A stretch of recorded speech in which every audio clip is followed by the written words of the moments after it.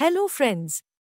Here are some unknown and interesting facts about naked mole rats, which are found in eastern Africa, specifically in Ethiopia, Kenya, Djibouti and Somalia.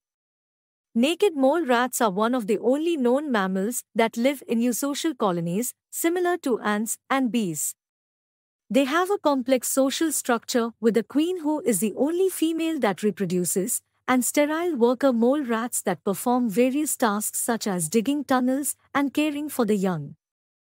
Naked mole rats are virtually blind as they spend their entire lives in complete darkness underground. They rely heavily on their sense of touch and smell to navigate their environment. Naked mole rats are resistant to cancer, which makes them unique among mammals. They have a high molecular weight hyaluronan in their cells that prevents the formation of tumors. Naked mole rats are capable of surviving without oxygen for extended periods of time, up to 18 minutes, thanks to a unique metabolic adaptation. They can switch from using oxygen to using fructose in their cells for energy, allowing them to tolerate low oxygen levels. Naked mole rats are capable of surviving in environments with high levels of carbon dioxide, which would be lethal to most mammals. They can tolerate up to 5% carbon dioxide, which is 100 times the lethal level for humans. Naked mole rats have an incredibly long lifespan for their size, with some individuals living up to 30 years or more in captivity. This makes them one of the longest lived rodents on Earth. Naked mole rats have teeth that are located outside of their mouths and are used for digging.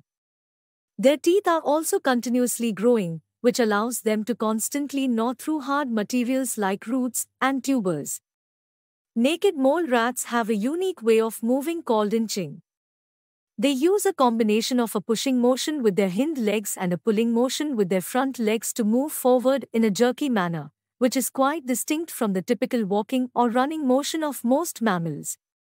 Naked mole rats are known for their resistance to pain. They have a naturally high pain threshold and produce very low levels of pain related neurotransmitters, making them less sensitive to pain stimuli. Naked mole rats have a highly efficient metabolism that allows them to survive on very little food. They have a slow metabolic rate and can go for long periods without eating, which is important for their survival in their underground habitats where food can be scarce. If you like this video, please like, share and subscribe to my channel. Thank you for watching. Have good luck.